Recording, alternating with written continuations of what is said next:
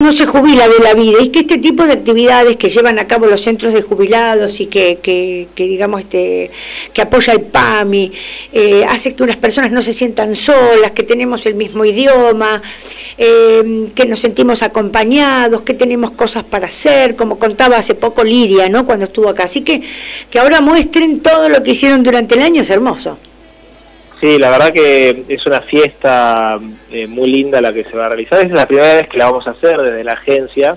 En realidad los, los organizadores son los mismos centros de jubilados, lo único que, como bien planteaba de un principio, la agencia es tutora de estas actividades, coordina que todo salga bien, pero son los mismos afiliados de los centros jubilados los que llevan adelante todos los eventos este, sociales de, de PAM y San Nicolás son ellos los protagonistas, quienes lo disfrutan y quienes lo llevan adelante.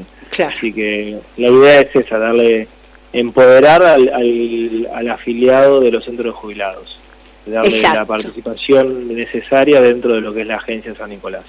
Y bueno, eh, la verdad que va a ser una fiesta muy linda, está abierta a toda la comunidad, es libre y gratuita la entrada.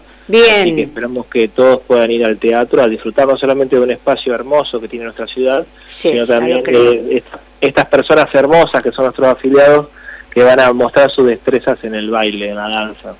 Sí, todo lo que todo lo que este, compartieron durante el año, qué bueno, ¿eh? ahora lo comparten para afuera, para los que no lo vieron durante todo el año, está buenísimo eso. Exactamente, exactamente, para familiares y amigos que quieran ir acompañados a los Y vecinos, y vecinos, ¿por qué no?